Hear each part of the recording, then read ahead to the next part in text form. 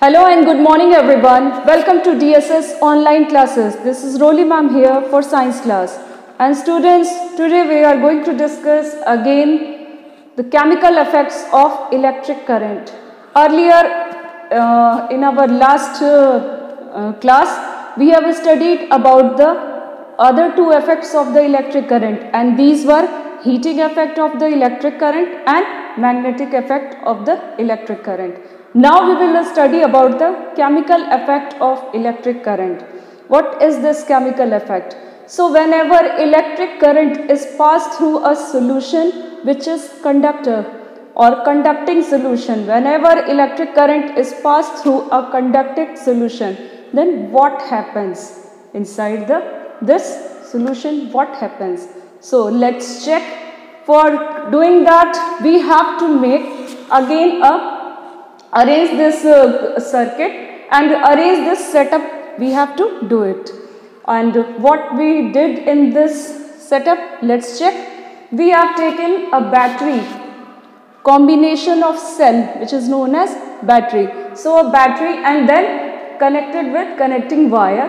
And we have to take two cells and uh, take out the carbon rod. This is the carbon rod of that cell we have to remove it out make it clean with the help of sandpaper and its metal cap uh, is uh, here which should be cleaned very carefully. And then wrap uh, copper wire over this metal cap and uh, connect these carbon rods with the connecting wire. And then uh, take a plastic cup or bowl or a trough and 3 by 4 fill it with water. Add some of the lemon juice or uh, washing powder or any of the salt to make it more conductor. Now you just insert these carbon rods in this solution. And be careful that metal caps should be over the solution. You have to be careful about that now what happens?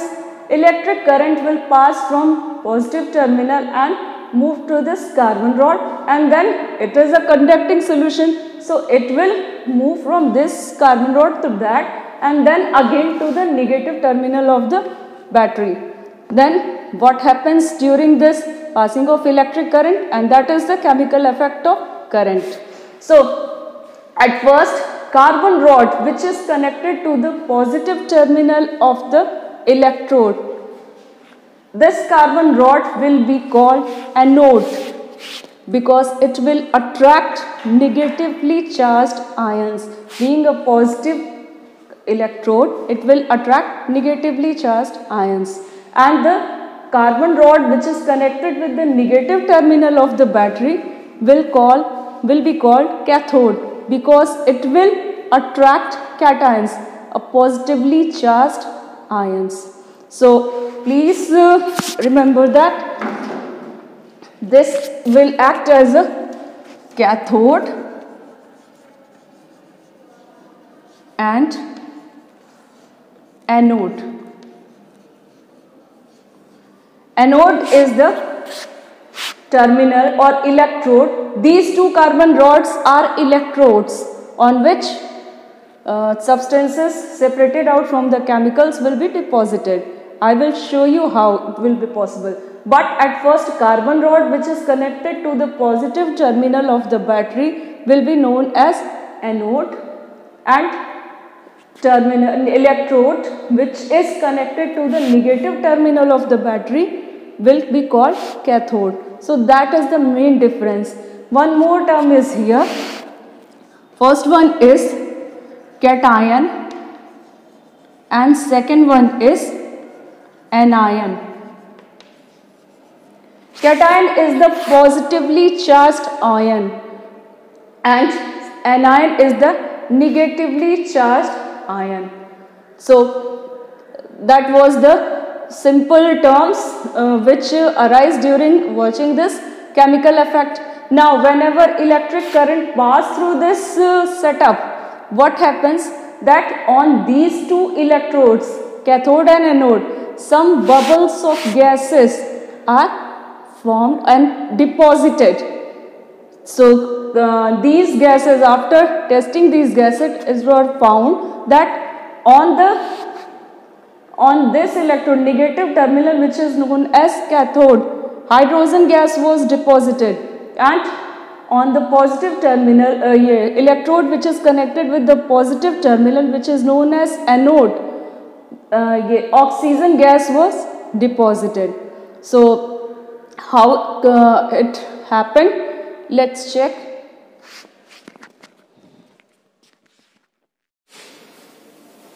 So students now we will observe we will check what happens during this passing of electric current conducting solution and how these bubbles of the gases are formed on their electrodes which are cathode and anode.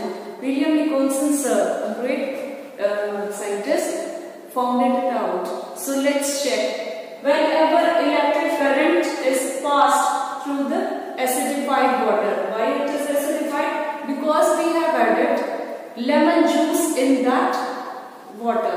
Now we have to arrange this setup to take a battery and with the help of connecting wires, two electrodes are immersed into the acidified water. Now, uh, after connecting this overall setup, the current moves from the positive terminal of the battery to the this wire and then it passes through this solution and reaches to the negative terminal. Now what happens inside this conducting solution?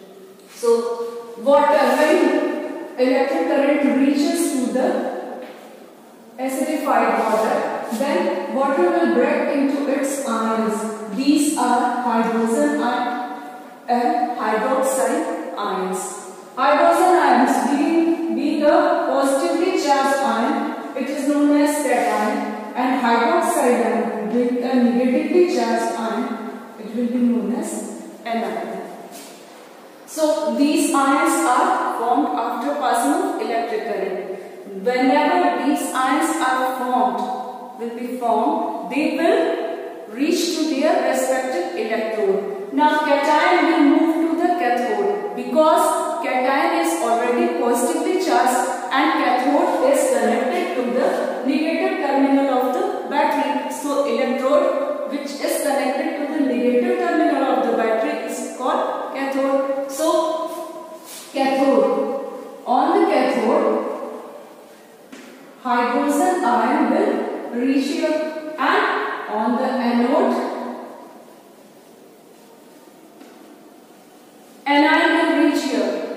because anode is connected to the positive terminal of the battery and naturally being positively charged it will attract negatively charged ions.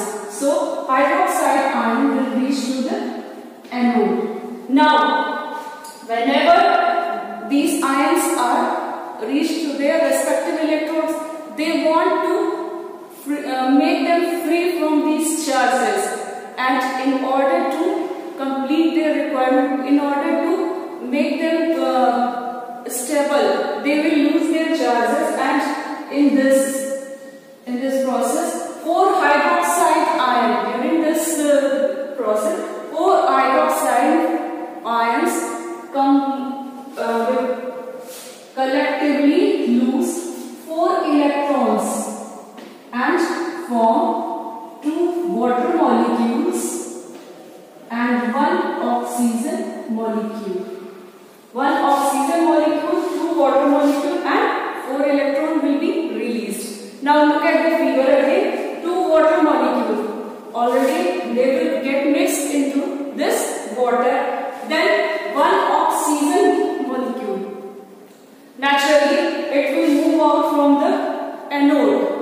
Oxygen is a gas and it will move from, out from the anode. So oxygen gas bubbles will be present here now. Now you can see the bubbles of oxygen on the anode which is already formed in this reaction. Now again what will happen that these four electrons are released into the solution then this hydrogen it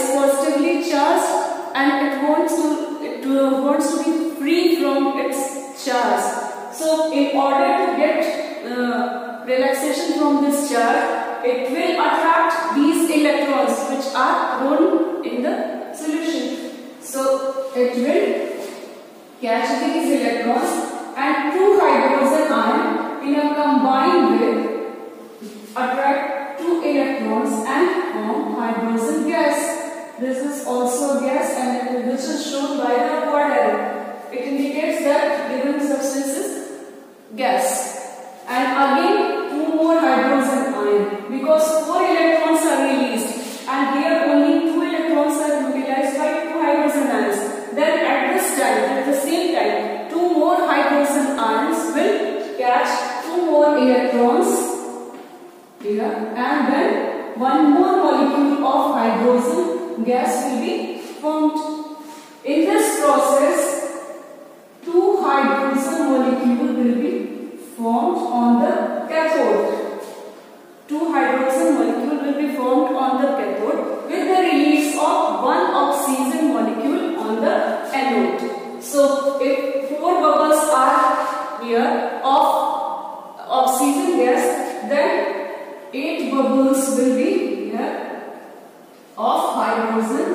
gas. So, in just double quantity, hydrogen gas will be released because as I have shown here that hydrogen gas will be double in the quantity of oxygen in comparison to the oxygen.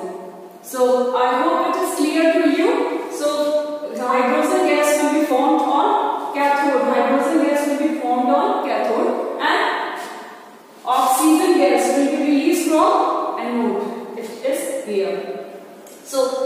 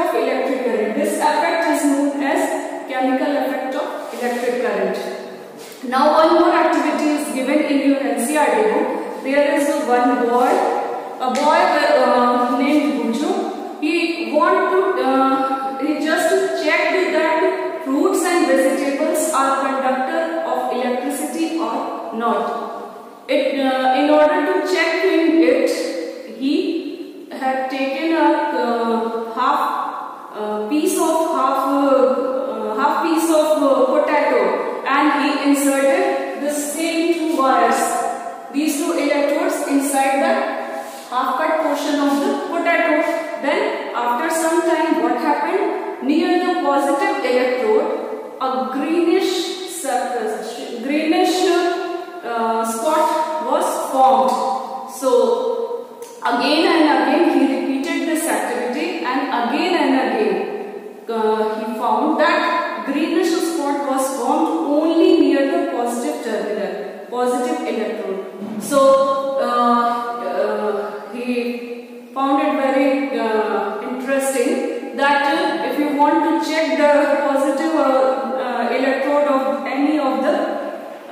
setup, then you just insert it into the cut portion of the potato and the greenish spot, the electrode on which a greenish spot will be formed, it will be the positive electrode. So that was all about the chemical effect of electric current and you can see products are formed on the both the electrode. Cations will move on cathode and anions will move on anode and in order to get relaxation from their charge. They lose electron, another will gain electron and by doing that, by accepting and donating electron, they will form separate products on two electrodes and that is the chemical effect of electric current. I hope you are clear with this effect and if you have any problem, please ask me questions. Thank you.